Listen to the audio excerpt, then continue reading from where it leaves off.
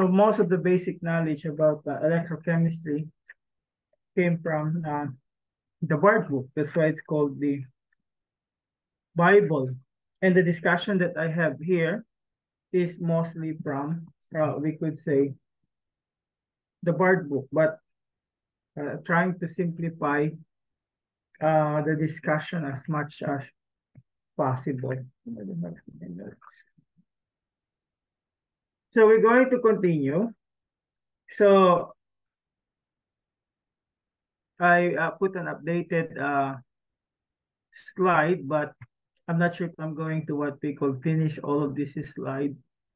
So we already uh, have an introduction about the method, the electroanalytical method, and some of the uh, stuff. Okay, so as you could see, you, you might be asking yourself, why, why are we talking about the batteries? But in truth, it is not really about the batteries. It's just that the history, okay, of electrochemistry is tied up with the battery. But if you're going to look, okay, there will come a diversion where the battery and the electrodes will, uh, we could say, deviate from one another or separate from one another. But if you're going to look at the principle that they have uh, that we have it's almost the same as what we call the battery. Okay. Now, this may not be new to you, but I will not be surprised if you didn't understand the so-called uh, Faradaic and non-Faradaic uh, currents. Okay. So they said there are two types of process that can conduct currents across an electrode solution interface.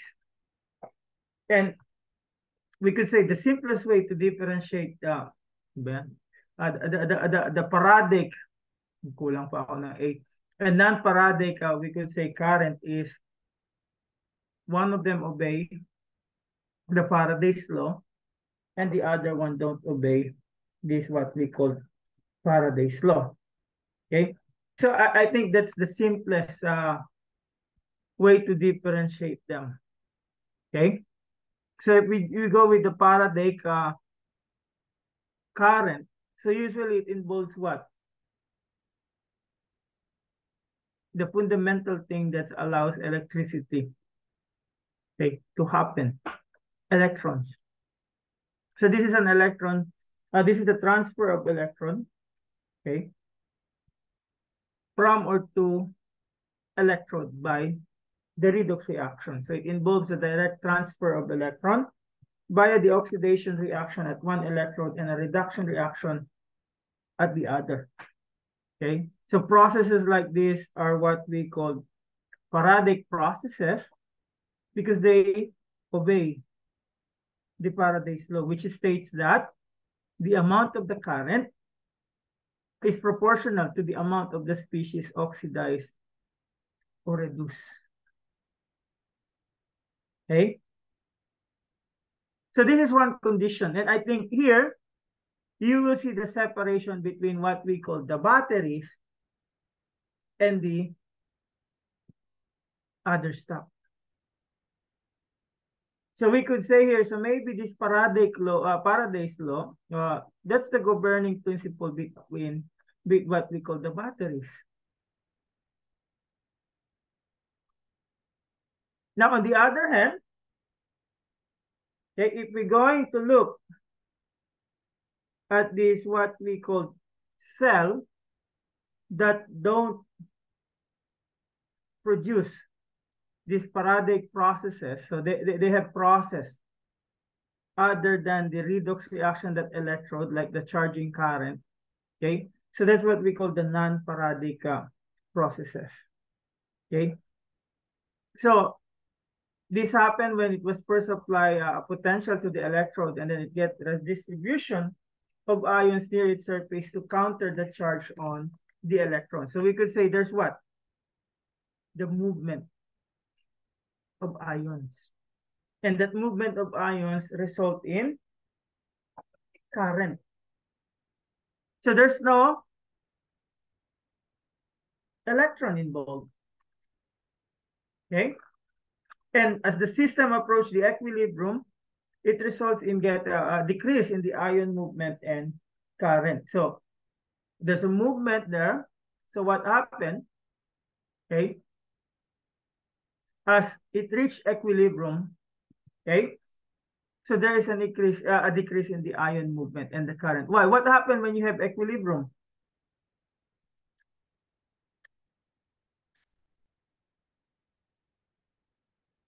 Any anyone can tell uh, share what happened when you have uh, what we, when you have a system at equilibrium? You think everything stops, but what really happened during an equilibrium? Okay. Equal po yung rate ng forward sa reverse So there's an equal rate of the forward and backward reaction. Okay. Now, we could say if you want to understand uh, the difference, the, the basic difference between the paradic and non-paradic current, imagine an electron traveling down the external circuit to an electrode surface. So when the electron reaches the solution interface, it can do only what? Two things. It can remain at the electrode surface and increase the charge of the double layer, which constitute a non-faradaic process or a non-faradaic current. Or it can leave the electric sur electrode surface and transfer to a species in the solution becoming part of the faradaic current. So I hope you see the difference between uh, what we call these two processes. Because I think this is where you divide the line, okay, when you have a battery or a non-battery. So where do you think, okay, the electrodes that we're going to talk about, electroanalytical, will come uh, to. So mostly this. The battery would fall almost on this one. Okay. And I would say you can also simplify or differentiate uh, differentiate the two into what? One is this and the other one is not this. What do you, what do you think is that?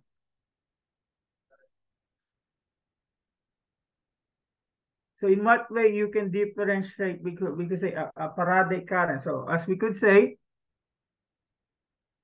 uh, faradaic current, it happenings at the electrode. Okay. So that means it's happening in the metal. It, in, it involves what? Electrons. And usually what do you have there? What, what do you say about the general term of the redox? Redox reaction is a type of what?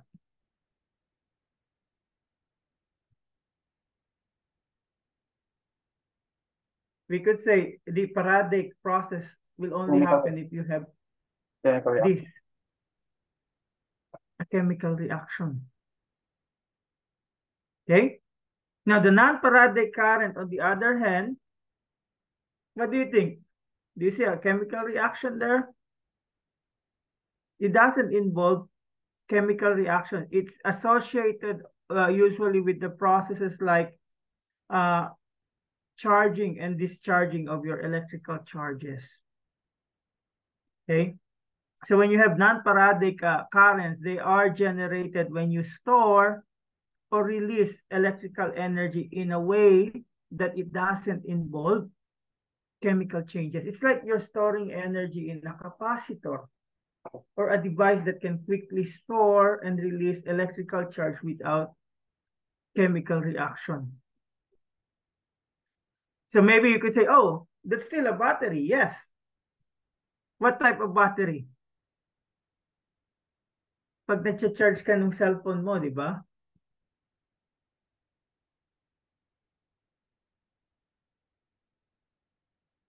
So both of them are still what we call the happen in the battery. But if you're going to look at this, yung mga old batteries where there's a chemical reaction, that's usually faradaic base. Now, they found out that, hey, we can also do this thing here.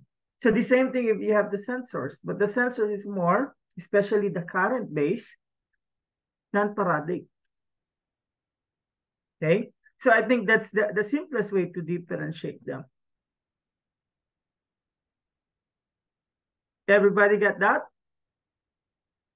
Hindi na lang sasabihin na yung isa ay nag-obey ng uh, Faraday law, tapos yung isa ay hindi. I think that's that's the message that was given when you are undergrad.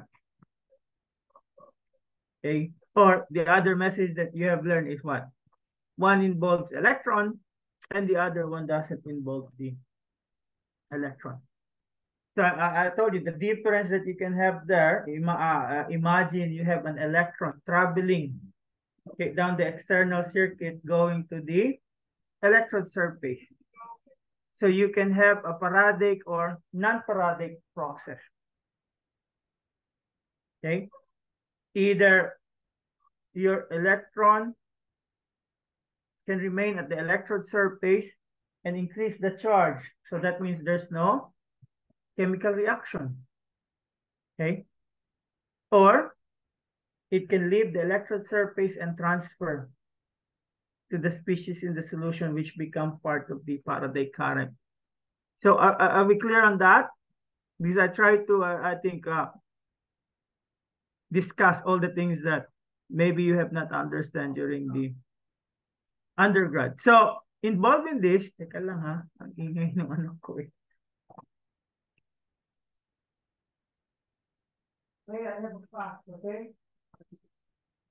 I can approach the door.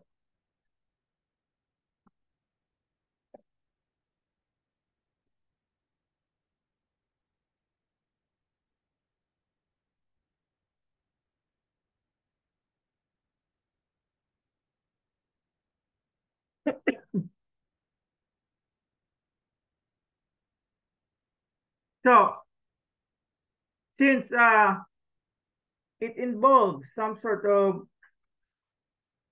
mass transfer in this uh, what we call the process. So usually if we're talking about this Faraday current, it usually requires a continuous mass transfer of reactive species from the bulk solution to the electrode surface. So maybe uh, we can go back to the three uh, mechanisms that brings about this mass transfer. Okay. So you have convection, migration, and diffusion. So again, uh, this was taken during your undergrad, but some of you may not have a deep understanding on what these three, we could say, uh, transfer processes are. So let's try to go each one of them. So when we're talking about convection, what do we have here? Okay, so in convection, it involves this mechanical motion of solution as a result of steering or flow of the solution past the surface of the electrode. So what does this mean? Anong ibig sabihin nito? If you have what we call the convection.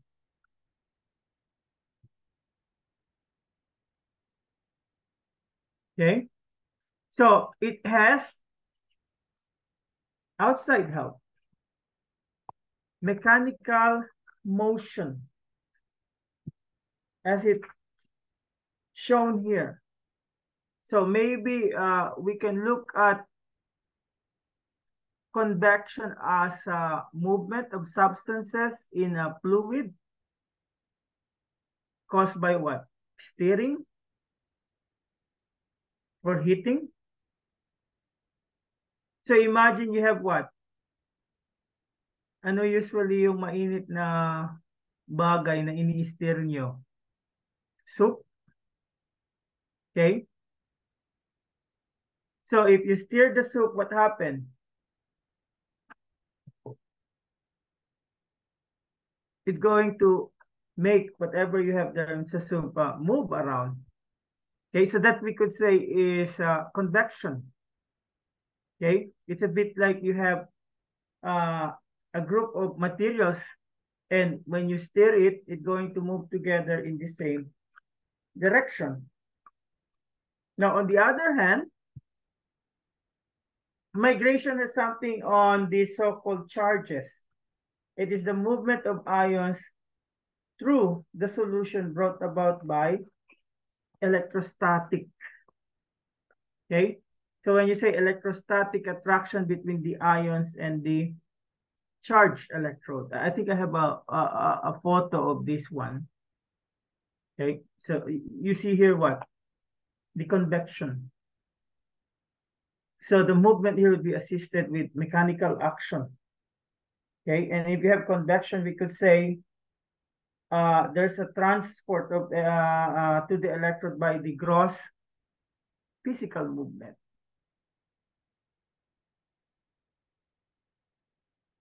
And the major driving force here is, we could say, external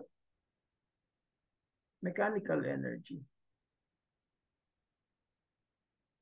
Now, migration, on the other hand, is the movement of what? The charged particle. Now, what caused them to move? So maybe, okay,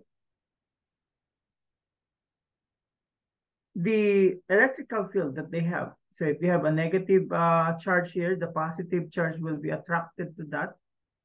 Okay, the negative charge will be repelled to that. So the charge is carried through the solution by ions according to the transfer, uh, transference number. Okay? So that is, we could say, migration. Now, on the other hand, when you have diffusion, this is just the motion of species brought about by a concentration gradient. So we could say this is a spontaneous movement under the influence of concentration.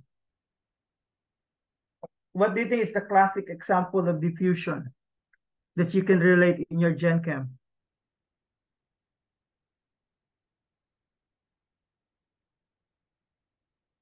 Anyone?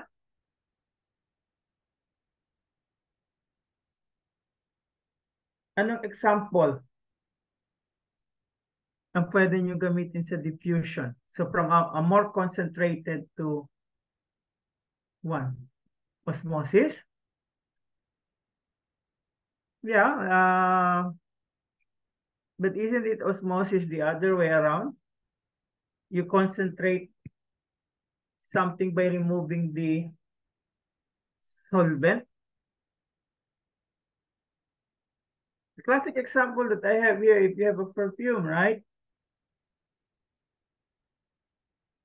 So if you have the container of the perfume, di ba mataas yung concentration ng pabango?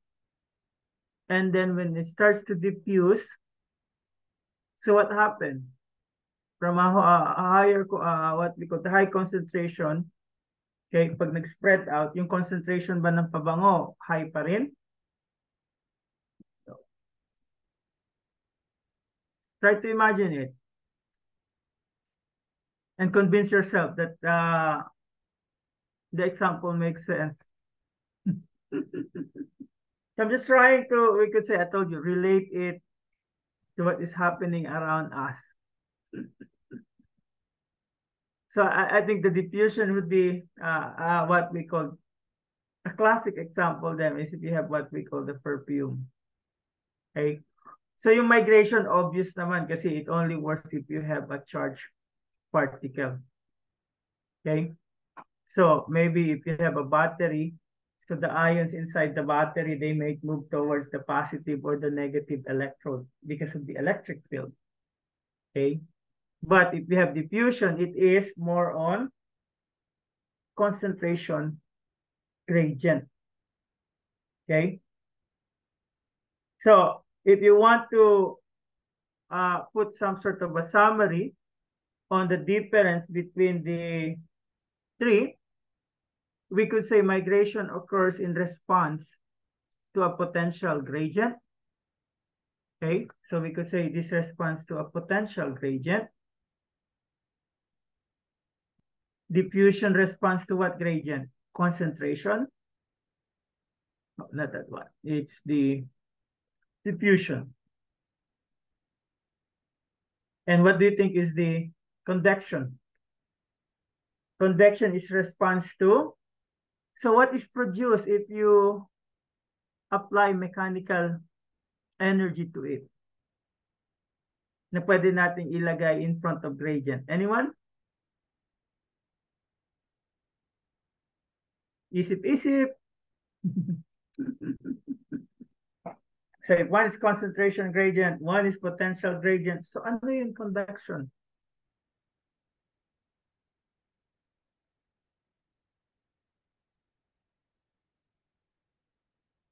Pressure gradient. Does that make sense?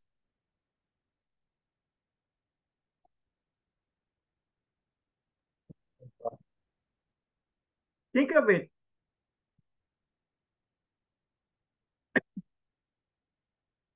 Okay, so if we if we're going to what we could differentiate them in terms of gradient. So one concentration, the other potential, and the other one pressure gradient. Okay, so that's the difference, and we might encounter this again, the mass transport to electrode. Okay, and the next thing that we're going to do, we're still the cell, so you might think this is still battery, but if we go to this uh, electrode that we have, like the silver, silver chloride, saturated, saturated calomel electrode, you will see that the same principle that we apply to the battery is also applied to this what we call electrode. Okay, so let's look at the schematic representation of our what we call cell.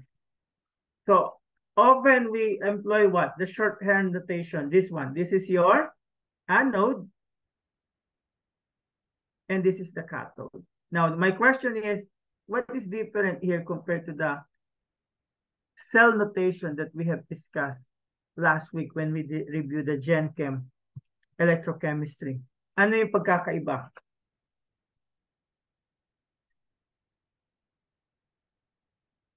Meron ba? Almost the same, right? So by convention, the anode and information about the solution with which its contact is always listed on the left.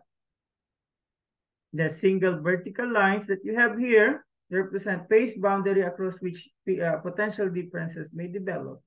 And then the cathode is represented symbolically with another vertical line separating the electrolyte solution from the copper electrode like this one. But what's the main difference that we have? Is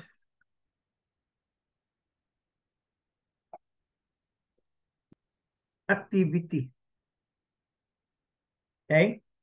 So if we're going to look at this, the potential is dependent upon the activities of the cell, what we call cell component. And it's a common practice to provide activity or concentration data for the cell constituent in parentheses. So usually before, what do we do? Maybe we just put what? Like this one, right? Telling us that the concentration is equals to one molar. Now, we could say uh, this is an electrode or a, a battery that is made up of zinc electrode in zinc uh, sulfate or zinc ion, and a copper electrode in copper 2 plus. Now, how do we write the cell notation here?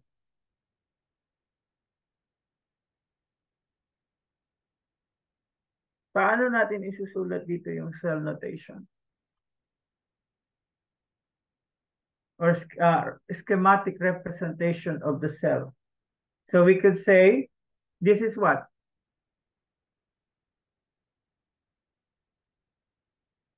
Is this a galvanic cell or a voltaic cell?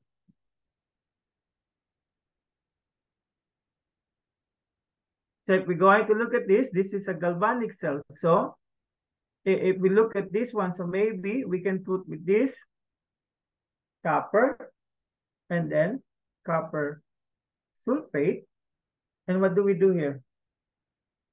The activity that is equals to copper 2 plus, ano yung activity niya? This one.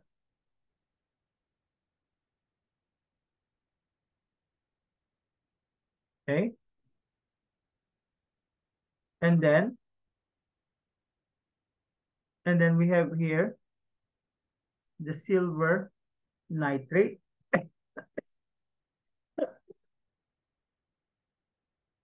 A plus,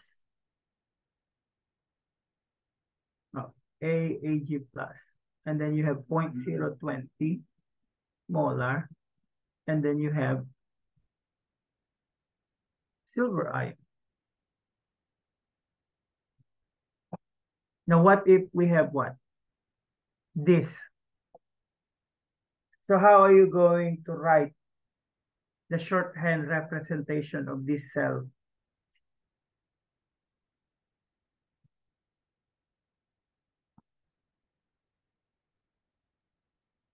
Paano natin susulat to?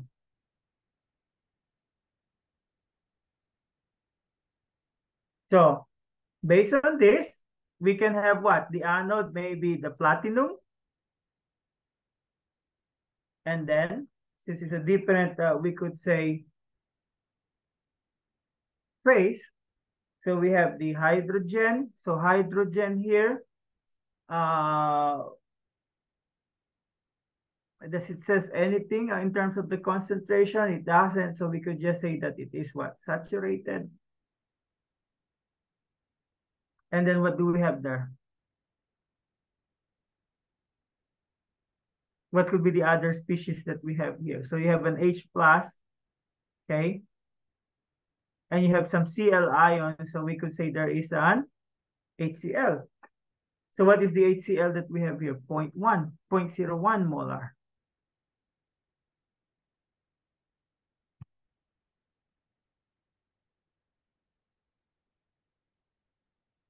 Now you might say, why is it not activity?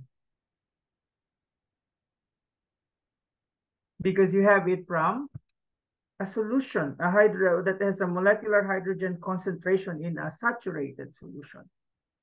Okay. And what's the other side that we have? Do we have a double bar?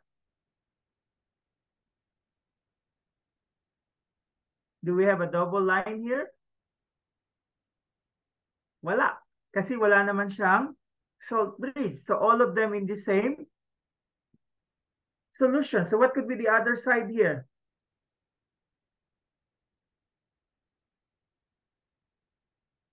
So you can put here your silver ion and most likely uh, we could say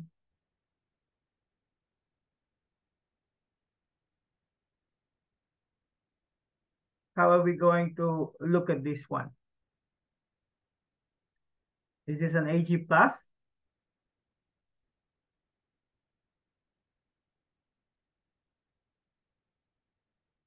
And then whatever the concentration, and then you can put there a line, and you have here a silver.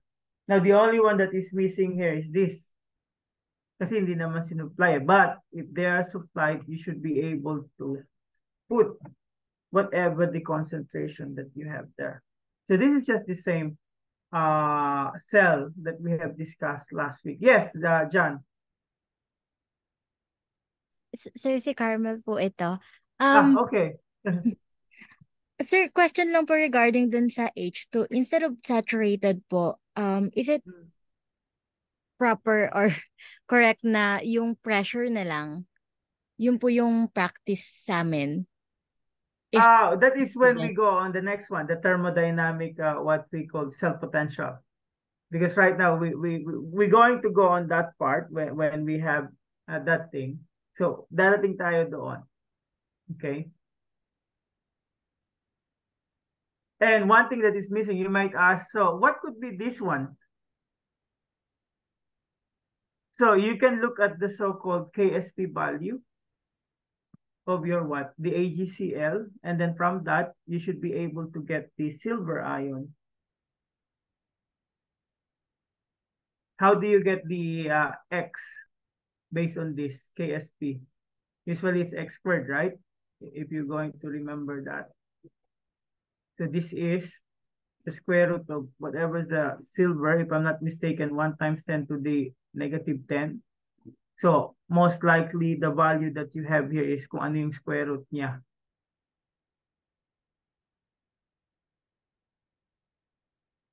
Okay?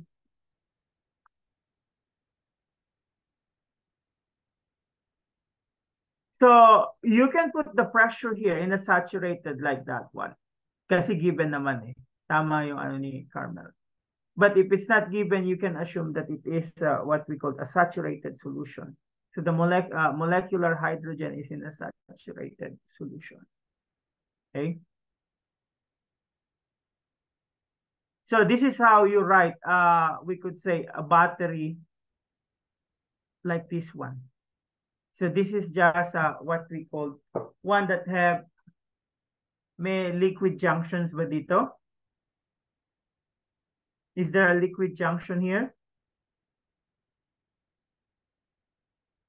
Because if you ask how many liquid junction do you have in this cell? So what is your answer? Wala kang liquid junction. But if you're asked here, on the other one, ilan liquid junction meron tayo dito? Usually you have uh, what we call two.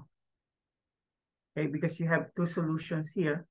And the junctions that you have is not between this and this, but it, between this solution and the salt bridge, and then this solution and the other, what we call salt bridge. I think we will meet uh, liquid junctions again in one of the slides that we have for tonight or for today. Okay? So this is how you write this, what we call schematic uh, representations of cells. So maybe this is the one na bago sa inyo for some of you. Okay. Now, in most of the electroanalytical methods, we neither uh, we measure either the current in an electrochemical cell at fixed potential or the potential of the cell while current is, fixed at some constant level or what we call zero. Okay. And in general, okay, in an electrochemical experiment, we can only control the potential of the cell at a desired level and measure the current that results or vice versa. Because yun lang naman yung dalawang process sa electroanalytical. Okay, you control the current uh, or you control the potential. And what we're going to do is we first consider the thermodynamics of the electrochemical cell and the relationship between the activities of the participants uh, that are in the uh, cell reactions and the observed potential of the cell. So here we go on this uh, what we call thermodynamics of cell potential. So sabi nila, okay, the potential of an electrochemical cell is related to activities of the reactant. And products in a reaction. And they are indirectly to their uh, what we call mol molar concentrations. So we have to recall in your, I, I don't know, 32, the relationship of activity with respect to the concentration. So recall that the activity of the species X, this is equals to just what? Activity of X equals to, what do we call this? Activity coefficient. You still remember that? And this one is the molar concentration. So the activity coefficient of the given ions or X times the molar concentration. Okay? So usually, kailan uh, nagiging uh, the same or equal yung activity at saka molar concentration?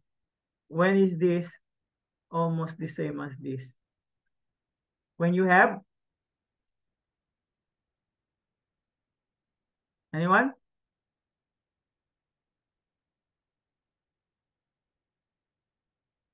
Dilute solution. So when the activity, uh, what we called, uh, we could say, uh, coefficient approaches unity. Okay, the molar concentration and the activity of the species are what we call identical. And when they are, when, when do they approach unity? Okay, when you have a dilute solution.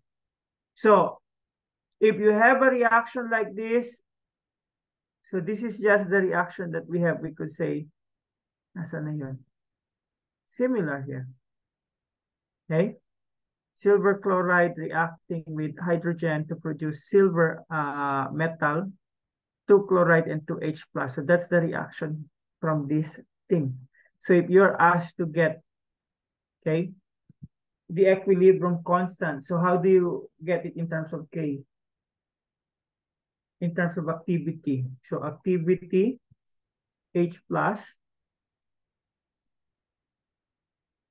activity, Cl minus, and then activity of silver divided by PH2, okay, silver chloride.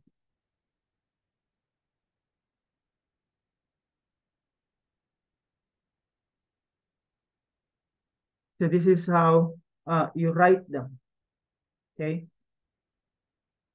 And you have to include the, the, the what we call the subscripts that you have here. So you can put what, the two here, two, two, two. So th these were the partial pressure of the hydrogen comes in. So the activity of a pure solid usually is what? Near unity, okay, when it is present in excess. So we could say the A activity here of this and this one is almost equals to 1. Now, how are you going to write it in terms of the Nernst equation? So E cell equals to standard E cell minus RT NF. So how do you write it here?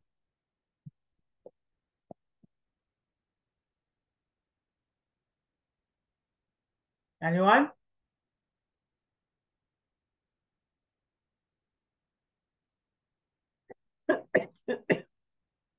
uh, si ano ba to? Carmel? Sir, bali po, um, sa numerator po ay activity ng H plus square times activity of chloride ion square. And then sa denominator po yung pressure ng H2. H2. Like the one you have here. Okay, and you have here uh, ACl minus squared.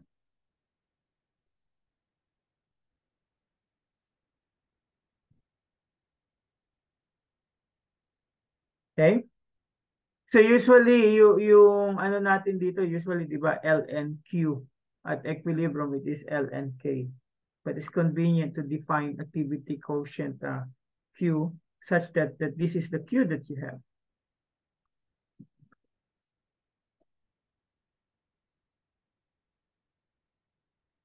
And then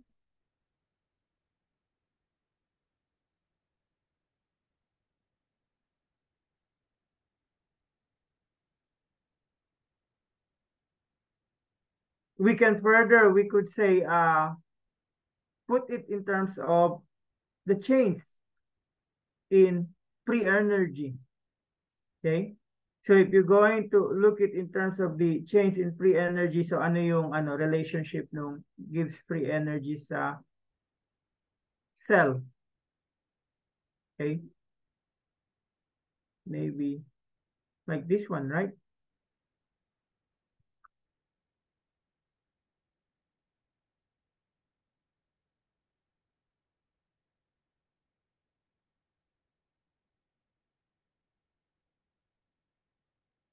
So once you get, uh, we could say, So this is if you have not, you don't have that. So once you have the cell here, you should be able to get the delta G. Okay. So ito yung parang uh, kung magbibigay siya ng work. So if it's a galvanic cell, okay, your delta G will be negative. So that means the reaction is spontaneous and produce energy that you can use for work. If it's positive, then that means you have to supply the energy. So, yan yung parang ano, yung equation that you can get if you relate the Nernst equation dito sa Gibbs free energy. So the delta G that you have there in a cell reaction, that's the maximum work.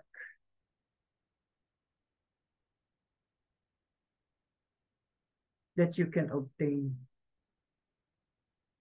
Okay, so usually ang nangyari is you can, uh, what we call uh, this thing will just derive okay, from this, if you remember. Okay, when you have this uh, NFE here equals to NFE, I, I think we did it last week, minus RT, and then all we need is what? We divide everything with NF. Okay, ending up with this relationship. So that is uh, how the thermodynamics that you can find in the cell potential. Okay. And we go back, as I told you, uh, we, we met this term uh, already in the next one. We, we met this term already uh, before, the so-called liquid junction.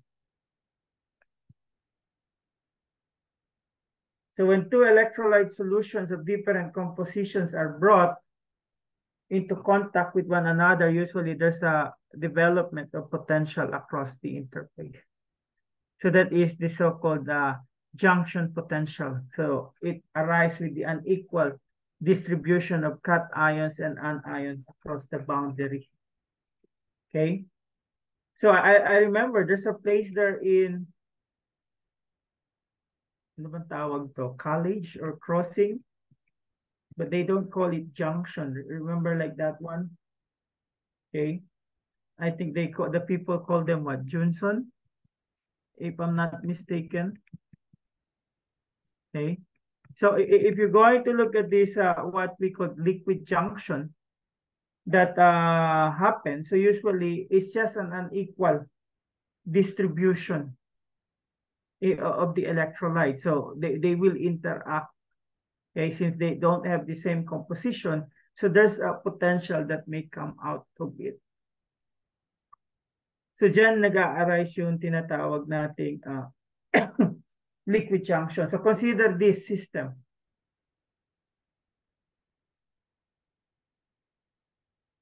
So they are the same in what way? They are made up of the same species. Okay, so both of them will have what ions? H plus and Cl minus.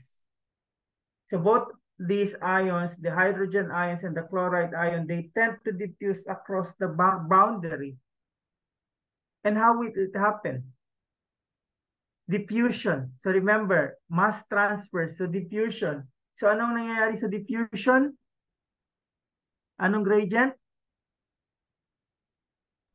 Concentration. Concentration gradient. Okay. So since there is what we call the uh, what uh, uh, a concentration gradient, so what is the movement? So it diffuses across the boundary from the more concentrated going to the less, or uh, what we call the uh, uh, the more diluted or less concentrated. And we could say the driving force is what? Proportional to the concentration difference. So pag mas malaki yung difference, mas mabilis yung pag-transfer from a more concentrated to less concentrated system. And we could say these diffusion rates that you have, okay, uh, is influenced, okay, by some other factor. So what do you think is the other factor that can influence here? aside from the concentration. So alin dyan yung magmo-move ng faster? Kasi dalawa yung ion mo eh. Okay? So alin sa tingin mo yung magmo-move ng faster which has a rapid uh, diffusion between the two? So, ang mabilis na gumalaw ay yung mass, ano, maliit. The smaller ion. So if you're going to go look at the uh, more rapid diffusion of the hydrogen ions, okay, because it is much smaller. H plus will move faster, and I think this is uh, justify here. So if you're going to look at the movement, mas mabilis yung movement nun papunta dito. So the more dilute side of the boundary becomes positively charged owing to the more rapid diffusion of the hydrogen ion. And the concentrated side, okay, becomes more negative charged because of the slow moving chloride ion. So what is developed there? Ito. At ito na yung tinatawag nating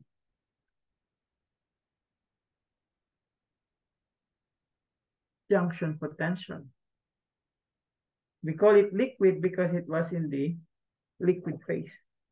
So you have this junction potential because there, uh, there is an unequal distribution, okay, here of the ions across the boundary. Okay. So in a simple system that we have uh, here, we could say that the magnitude of the junction potential can be calculated from the movement or mobilities of the cations and anions involved or the ions involved in the system. However, they said it is seldom uh, that a cell of analytical importance has sufficiently simple composition to permit such computation. So yan yung uh, tinatawag nating uh, liquid junction. Okay. Now they said the magnitude of this junction potential can be greatly reduced by the introduction of a concentrated electrolyte. So ano yun?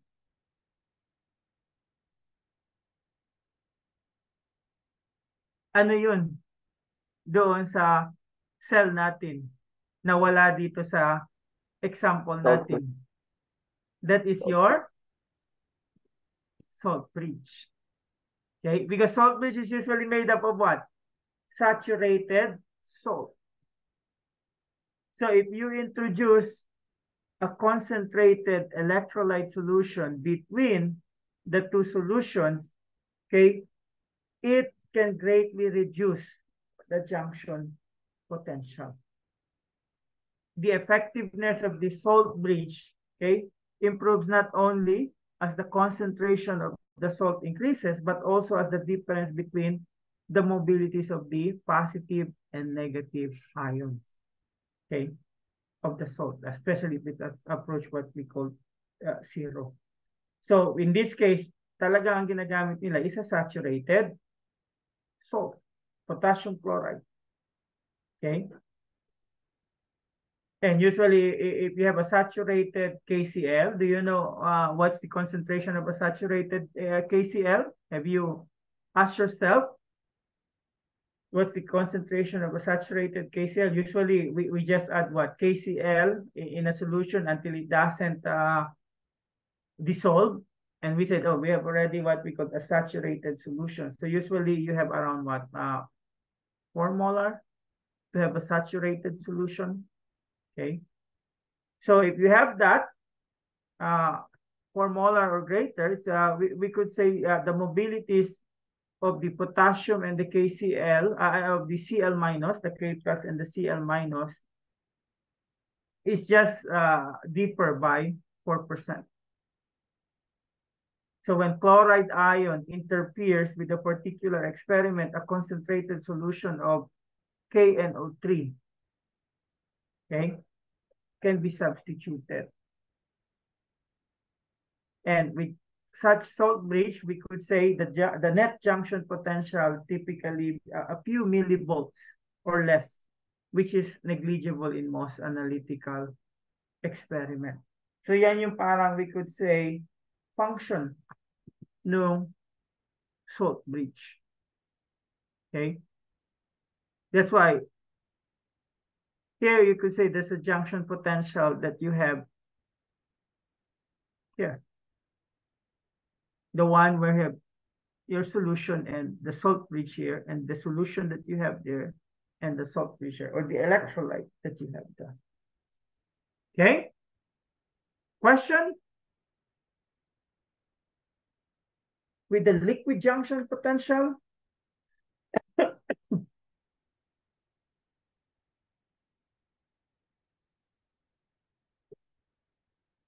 before we go, this one. They might say, Jen na Jen Kim talaga, but we try to at least uh, cover more depth. So, we go back to that, uh, what we call system that we have. Okay? So, how do we determine this so-called uh, electrode potential? So, usually we think that uh, the cell reaction of an electrochemical cell is made up of what? Two half reaction. And each of them, they have a characteristic electrode potential associated with it. So for instance, the device that we have, okay, this has this half cell reaction and this one has the other half cell reaction. What can you say about the reactions that we have here? Both of them are what? Is this oxidation or reduction reaction? So both of them are Reduction. reduction. Now you may ask, why is it I, I uh we wrote this as reduction? Because convention. Based on what? Reduction potential. Reduction potential table. Have you heard anything as oxidation potential table? Okay. So usually we write it uh, what we call by convention, they are both written as reduction. So the half cell uh, reaction, okay, or the electrode reaction for the cell that we have, the, the one that has the platinum. So if we're going to recall platinum, uh, H2, one atmosphere, okay, and then we, we, we can have their uh, H plus 0.01 molar, and then you have Cl minus, okay, 0.01 molar, and then AgCl saturated, and then you have the silver. So that's what you have. And the overall reaction that you have is this one. So what can you say about this? Is spontaneous or non-spontaneous?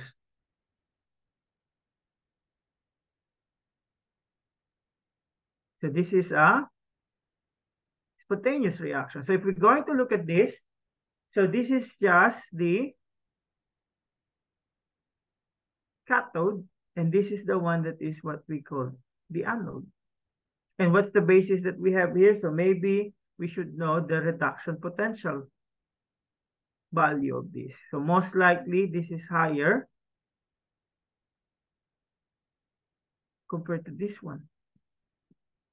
So you put this here, silver chloride or the cathode minus the anode. And you use whatever the reduction potential that you have here. So another way of writing is it what? E cell equals to if you use the right and left. So what is here, right or left?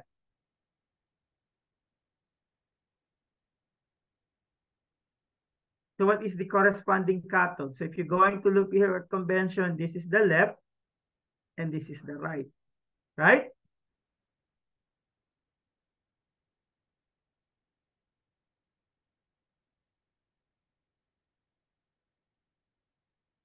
So this is how we have the so-called uh, obtaining the reduction potential. Now, if we're going to look at the uh, nature of the reduction potential, what can we say?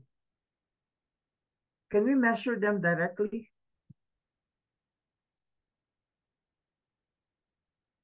can we measure the potential of any given cell directly? What is the answer there? If I gave a true or false question in the quiz, False. the answer is false. Okay, You cannot measure, okay, the potential of, let's say, a single electrode directly. Okay, so they said, although we could say the potential of electrochemical cell is the difference between the potential of one of the electrodes and the uh, potential of the other, it is therefore too important to have a clear idea of what is meant by the potential of an electrode. So it says here, it's a measure of an electrode's electron energy. Okay? But,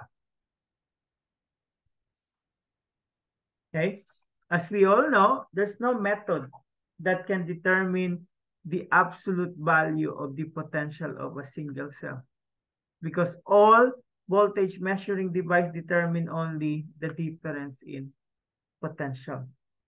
So how do they solve this?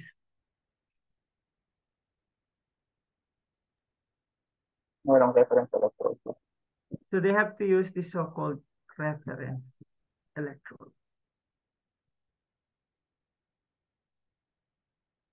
Okay. now, the way that, that they said, uh, because we can only determine the so-called difference in potential. So maybe the, the way that you can do it, if you want to measure a potential difference, okay, you have to have one other potential, uh, we could say electrode that is connected to the electrode. So one conductor from such device is connected to the electrode that is under study and to measure a political, uh, a political, a potential difference, okay, the second conductor must make contact with the electrolyte solution of the half cell under study. And the second contact inevitably cre creates a solid solution interface and act as a second half cell reaction, okay, in which a chemical reaction must also take place if there is a flow of electron. So diyan pumapasok yun, reference electrode. And the one that you have as the reference electrode is the standard hydrogen electrode. Okay. So standard hydrogen electrode, they use what? Hydrogen gas. Okay. Now you may ask, why? Why of all things, why hydrogen? Bakit kaya?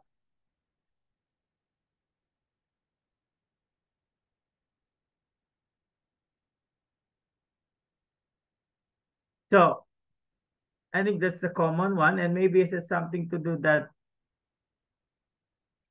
it measured the, the hydrogen, the pH. Okay. Now, hydrogen gas electrode, they are not only used as reference electrode, you also use them as an indicator electrodes for pH determination. Okay. Now, it is not a metal, so you need some sort of an inert material where the reaction of hydrogen can be monitored. So they use the platinum surface. Okay. And they said the potential of the platinum surface depends upon the activity of the hydrogen ion of the solution and upon the partial pressure of the hydrogen that used to saturate the solution. So if you're going to look at uh, this standard hydrogen electrode, maybe this is the system that you have. So you have an HCl there, you have the platinum, and then you introduce it with gas. So what happened? Okay. The hydrogen, the electrode uh, that, that you have there, depending on uh, to what electrode you combine it with, they can act either as an anode or a cathode. Okay, depending kung ano yung half cell na meron kayo. And it is coupled also by means of salt bridge.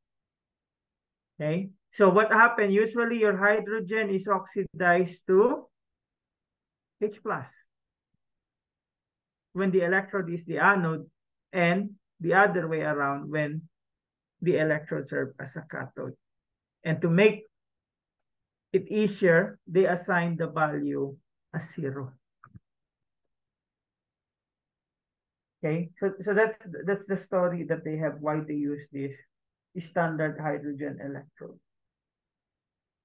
You might say, well, why not the other materials that you have? So maybe I think practicality, hydrogen is what? In the periodic table. Element number one. Right? So sometimes when you try to do a reference, so you're going to compare everything with this reference. So you look, try to look at the what we call the simplest one. Okay.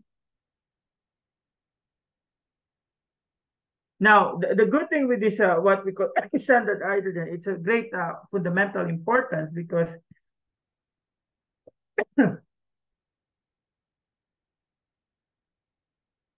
in the long term, it's not really practical to use this. So they just use this to what? To get the potential of the other, uh, what we call materials. In the long term, hindi rin siya magandang tinatawag nating reference electrode. It's not a practical reference electrode. Okay?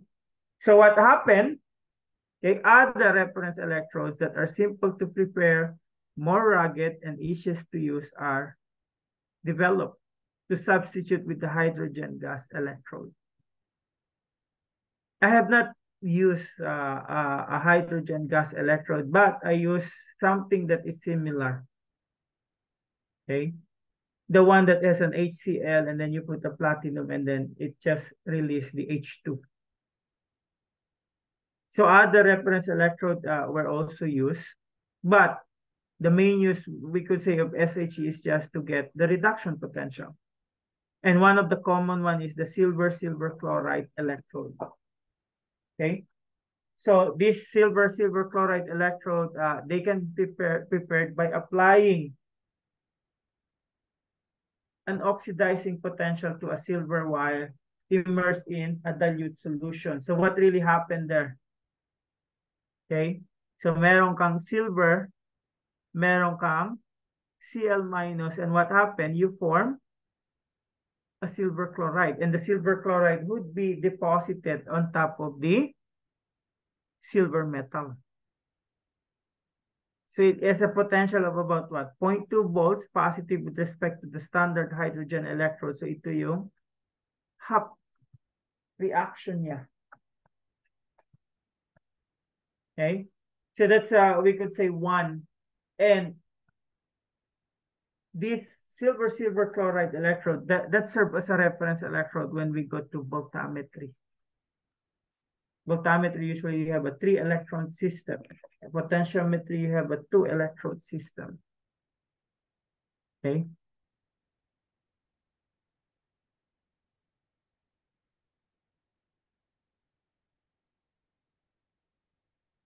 Now, how does it look like?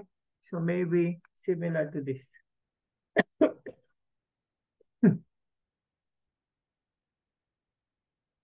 so you have a silver wire that is coated with silver chloride and around it, there's what we call the KCl solution. I think in most of these, uh, what we call electrodes that we have, we usually have a salt.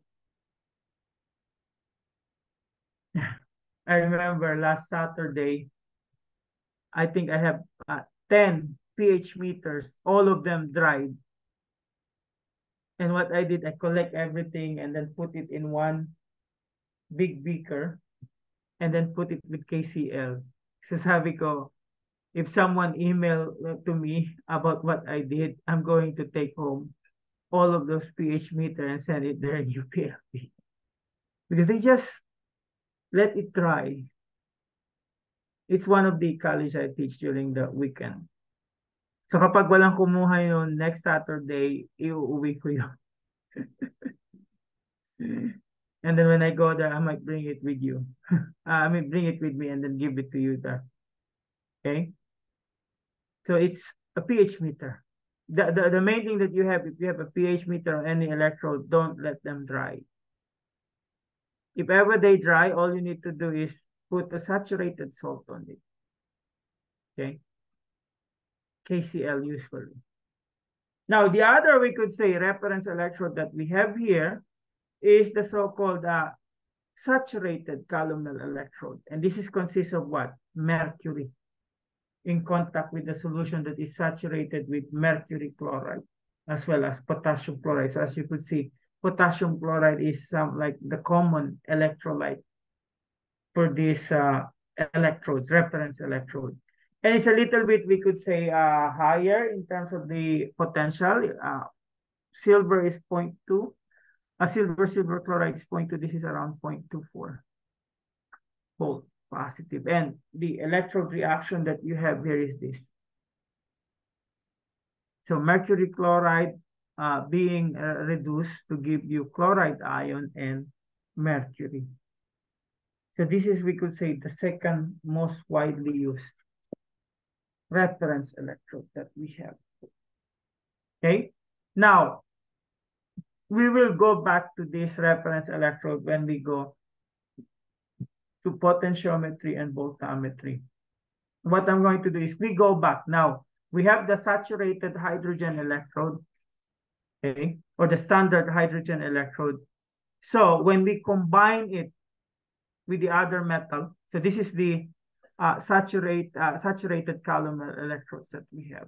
So as you could see, it's also KCl that you have there. Okay.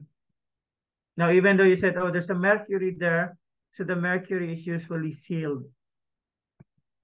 So it, it, it, it, it, it's not uh, going to be what we call leak unless it breaks.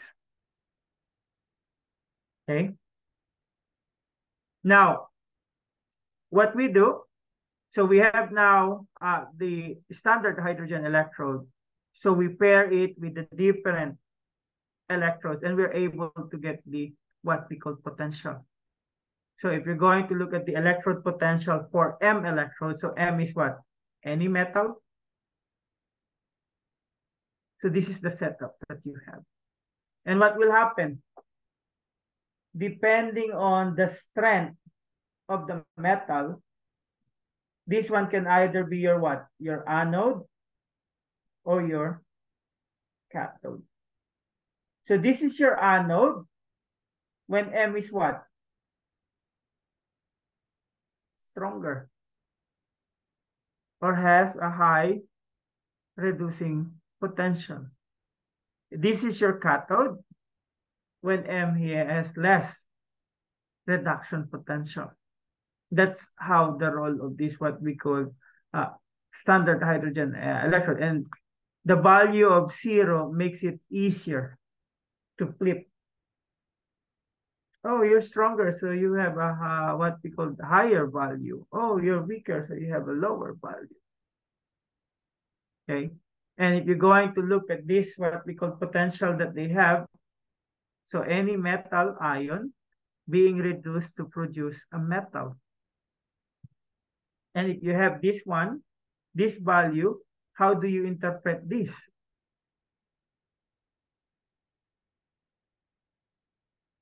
So what do you see here coming from, uh, let's say going up? Copper is what?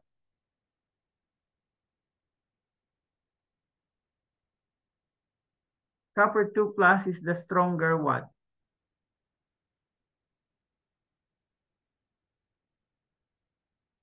Anong agent na tinatawag natin? Reducing agent or oxidizing agent?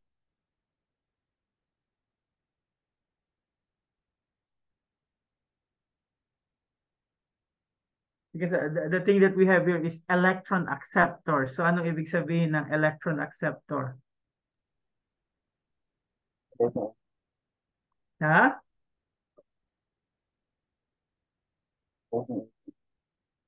So it is a stronger. So if you're an electron acceptor, remember the Leora and the Geroa. Okay. So if you are, we could say electron acceptor. So that's this one. So that means this is a stronger oxidizing agent. So you see, it's just playing around with words that you have here. And if you don't understand it, if you don't know really the basics, sometimes it's going to what we call confuse you. And the sign conventions that we have here,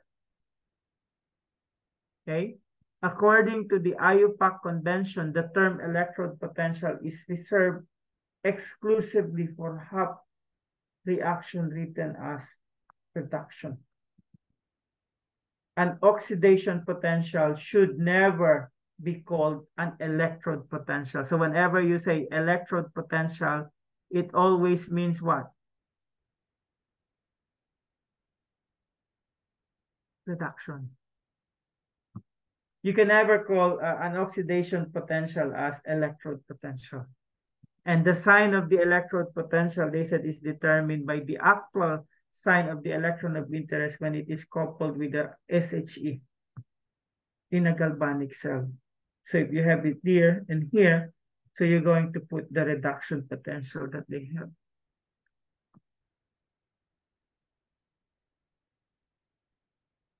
So why did we say they have a negative sign here? Because of the potential that it gets when it was paired with SHE. So that means SHE act as what? Another cathode? If you have this value that you have here. So your SSE acts as your cathode. Now, on the other end, if you have copper electrode, you're given what? Positive, if I'm not mistaken, I think around 0.34 or 337. Yeah, like the one here. So they're given, we could say, uh, a positive value because it acts as a cathode while the SHE acts as an anode. Okay? Cathode, may question mark pa. And I, I, I think uh, what, what happened, uh, wala dito yung table. Hindi ko na ano yung table. Ito yung basis na you have here. Okay?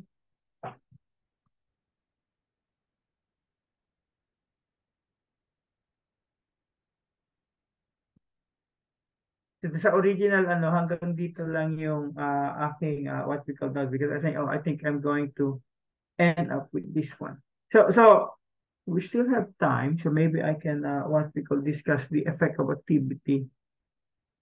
So whenever uh, we look at the effect of the activity of the electrode potential. So sabi nga natin yung electrode potential natin, that is really the reduction potential or uh, we could say cell potentials for a cell consisting of electrode acting as a cathode and the standard hydrogen electrode acting as the anode. Okay? So let us consider this uh, half reaction. So you have PP plus uh, QQ and so on plus the number of electrons producing R and SS. So if you're going to look at this again, following Nernst equation, so you may end up with this thing. Okay. So at room temperature, we could say at 298, we have this, the cell potential equals to the standard cell potential and log of the product activity, uh, the product of all the activities over the product of all, uh, all the uh, uh, reactant activities. So the product of the product activities over the product of what we call uh, reactant activities. And this is the equation that we have uh, in Nernst equation, which can be applied to both half cell reaction. Now, the thing that we need to remember is the substitution of the concentration for activities. Okay.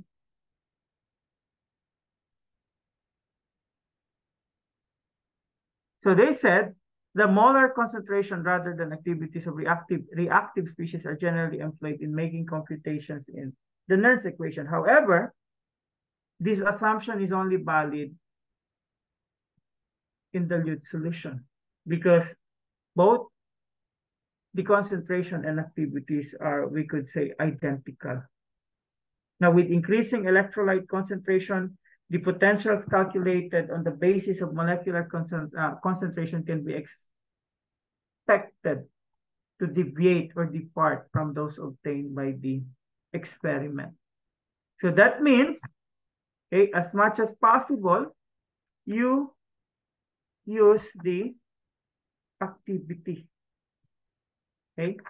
So, balik na naman tayo doon sa tinatawag nating activity coefficient times the concentration. Okay? By the way that we do thing. So, yun yung uh, applica uh, applic uh, applicability nitong Nernst equation. So, uh, And if we're going to look at this uh, standard uh, electrode potential that we have here, examination of the Nernst equation reveals that the constant cell uh, standard uh, cell potential is equal to the half cell uh, potential when the logarithmic term is equals to zero. And they said, okay, uh, this condition occurs whenever the activity quotient is equals to unity. One such being when the activities of all reactants and products are unity. So when you use the SHE, okay, as the electrode potential for a half reaction when all reactants and products are present are what we call the unit. And I think I, have here uh, the importance of this uh, standard uh, hydrogen electrode. Okay, it's an important physical constant that gives a quantitative description for a half cell reaction. And there are four facts that you have to keep in mind with regards to this constant. First, this electrode potential is temperature dependent. So what do you think happens when the temperature increases? Ano nangyari sa potential? Most likely, okay, it will also increase because it favors the uh, forward reaction. So you have more products there, more, uh, it becomes more spontaneous. So the electrode potential will increase. Okay. Yeah, if, it uh, uh, to have a significance, the temperature at which to determine what must be what specified. So to be safe, you always put at a given temperature, whatever the temperature. And then another thing that we need to remember, the standard electrode potential is a relative quantity in the sense that it is really the potential of the electro of an electrochemical cell in which the left electrode is carefully specified reference as SHE, whose potential is assigned a value of zero. So the one that you really measure there is the potential of the electrochemical cell that you partner with the SHE. Okay. And then the sign of the standard potential is identical with that of the conductor in the right hand. So what is the right? Usually that is the cathode. And the left is the anode, which is your HSE. And last,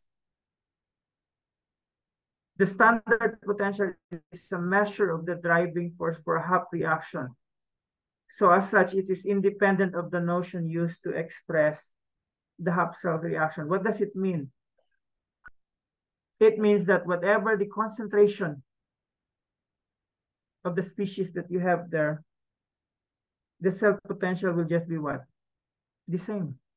So if you have a calculation here, if you're going to determine the potential of this one. So what will happen? This is what? 0.779 minus 0.0592 divided by what? One electron. And then this is log of 1 over activity of silver ion. right? So if we have one here, so this one is equals to what? One. Now what if we have 100? How it how will it affect the equation? Will it be the same? So you have 0.779 and then you have minus what? 0.0592. I think I'm missing something here. This should also have what? 100 electron. So this is equals to 100. And then what do I have here? The log. So since I have 100 there, so that's 100 log 1 over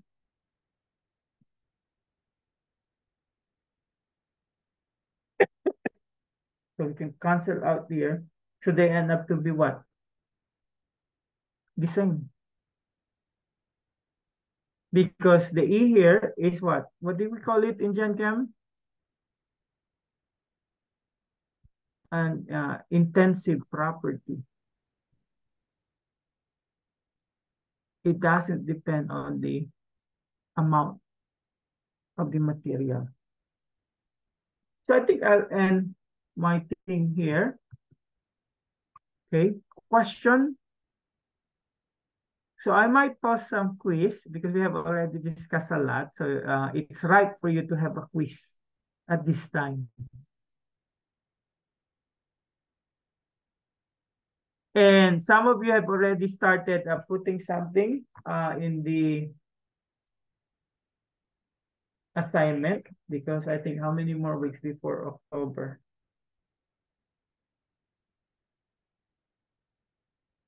So question so far. Kayo ba yung nanonood doon sa pinost kong video? Because I was surprised, 38 views agad. Or maybe one minute and then saka uli manonood. because of the internet connection.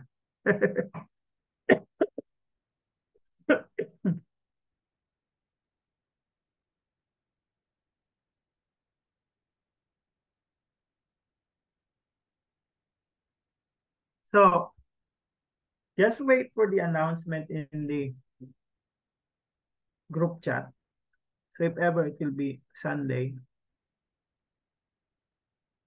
during the weekend, I, I will I, I'll tell you about it. Okay, so most likely the materials that we have, and I post some articles there. So if ever I'll for, force you to read it, uh, I'm going to make a quiz based on that material. So question, so far. 11.26. Baka kasi umattend kayo nung uh, merong webinar kasi eh. I think yung B program. Not webinar, uh, seminar in person. Sa tanong,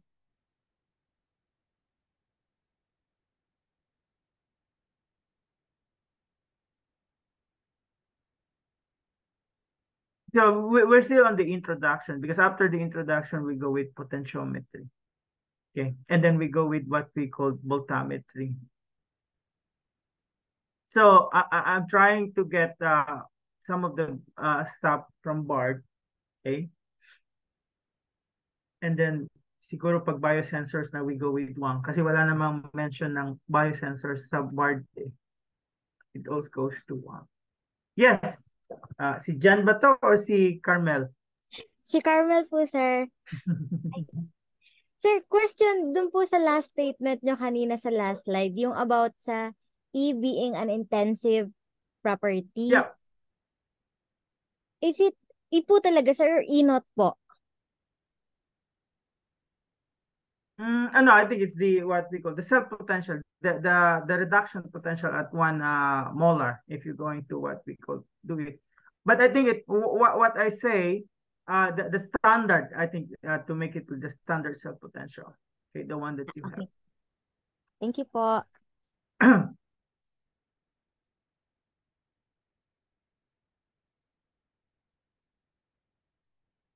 Sa tanong, wala. Uh, I don't have anything to hold you. Uh, so next week we might just meet uh, on Wednesday So sa Friday, if we meet, baka malate ako because I, but I'll ask you doon sa mga walang pasok. I have uh maybe I can share it to you. Hindi ko na i-record para